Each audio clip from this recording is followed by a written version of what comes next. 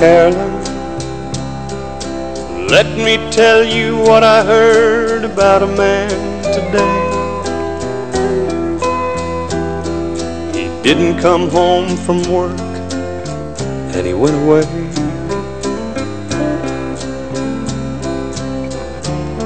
Till he came to a city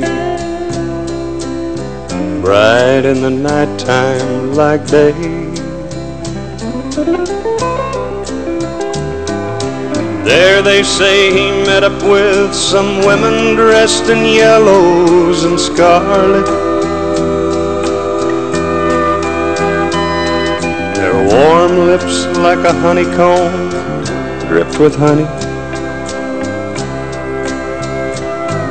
And something about the smell strange perfume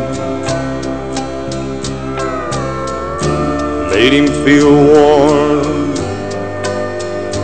and not alone. Yes, Carolyn, a man will do that sometimes on his own and sometimes when he's lonely.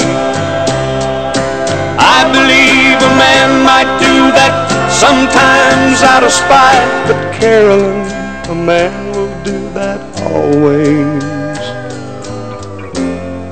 when he's treated bad at home.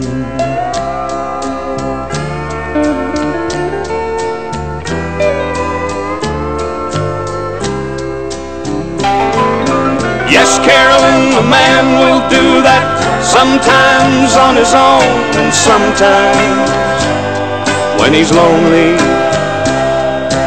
I believe a man might do that. Sometimes out of spite, but Carolyn, a man will do that always? When he's treated bad at home.